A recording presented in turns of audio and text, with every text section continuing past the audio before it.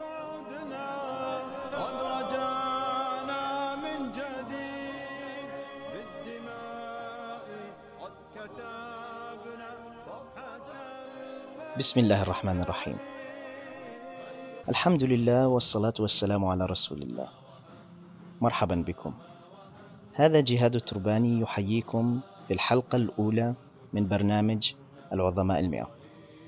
العظماء المئة سيكون اسم البرنامج الذي سأصحبكم به إن شاء الله في الأيام القادمة.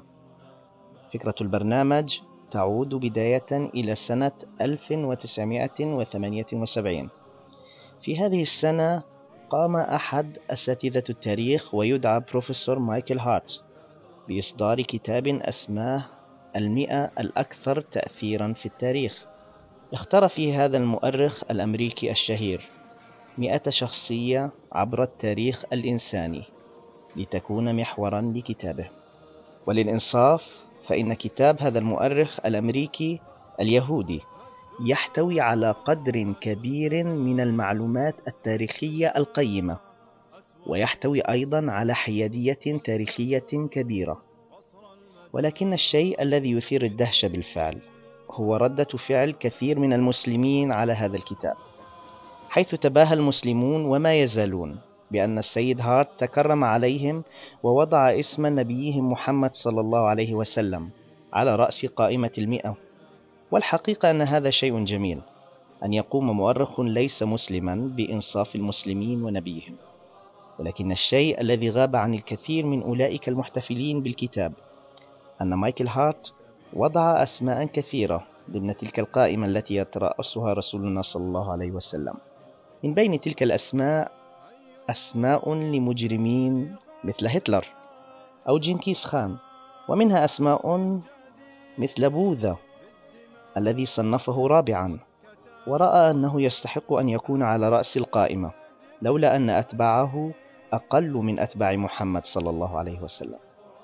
الشيء الأخطر في الموضوع أن الكتاب بعد الرسول صلى الله عليه وسلم لم يذكر من أمة محمد صلى الله عليه وسلم إلا اسما واحدا رأى هارت أنه أثر في التاريخ وهو اسم الفاروق عمر رضي الله عنه وأرضاه.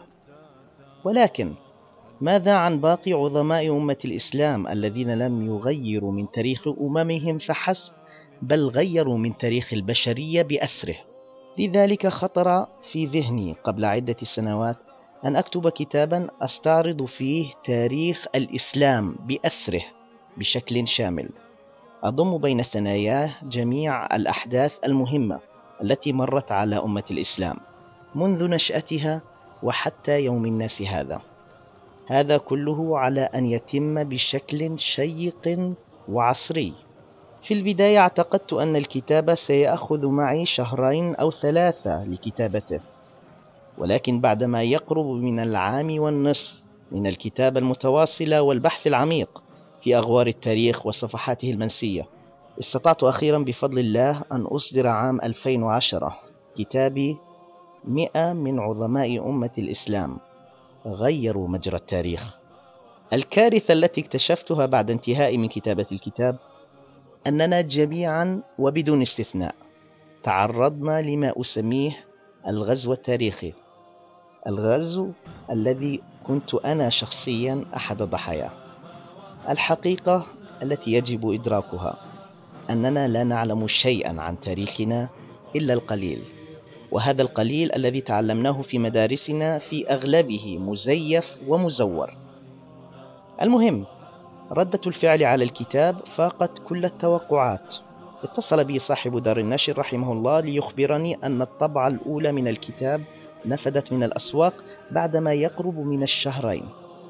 بعد ذلك صدرت من الكتاب عدة طبعات وتم توزيعها في مختلف أنحاء الدول العربية. لتصلني بعدها رسائل تدعو للتأمل. طبعا الكتاب لم ينتشر بسبب اسم مؤلفه المبتدئ وهذا بالمناسبة ليس تواضعا. بل إن الكتاب انتشر لأن شباب الأمة متعطش لفهم تاريخه الذي حاول البعض طمسه وتزييفه. وبعد اقتراحات وجدت أن أقدم هذا البرنامج.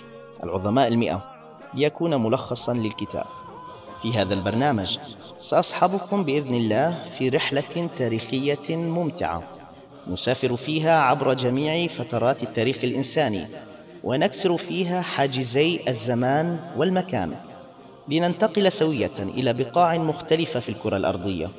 من اليابان شرقا إلى تشيلي غربا ومن القطب الشمالي شمالا إلى جنوب أفريقيا جنوبا. لنسبر أغوار مئة عظيم في أمة الإسلام غيروا مجرى التاريخ. ليقص لنا كل عظيم منهم قصة الإسلام في الزمان الذي ظهر فيه.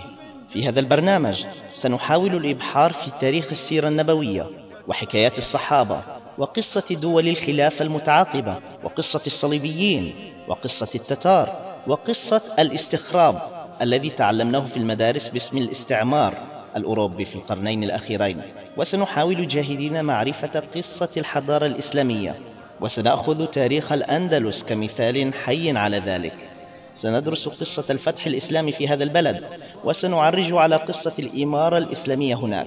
ومن ثم على قصة الخلافة الإسلامية في قرطبة وقصة ممالك الطوائف ثم نفصل قليلا في قصة إمبراطورية المرابطين فالموحدين ثم ندرس سقوط الأندلس ما هي أسبابه وما هي إرهاصاته ثم ندرس حال المسلمين الأندلسيين بعد السقوط وقصة الانتفاضة الشعبية الكبرى هناك سنتطرق إلى قصة محاكم التفتيش المرعبة في الأندلس.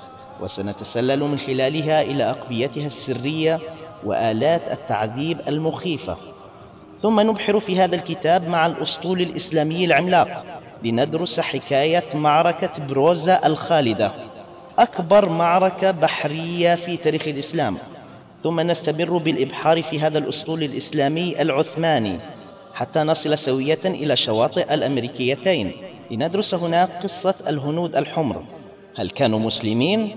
سنذكر أسرارا خطيرة عن تاريخهم وعن علاقتهم بالإسلام. سندرس في أمريكا الجنوبية قصة الظلم الإسباني البرتغالي البشع وسندرس في أمريكا الشمالية أبشع قصة عرفتها الإنسانية قصة الاستعباد.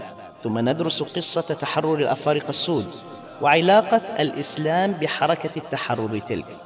في هذا البرنامج سنذكر قصة الصعود الإسلامي الجديد لتركيا وسنفصل في هذا البرنامج قصة الإسلام في الهند.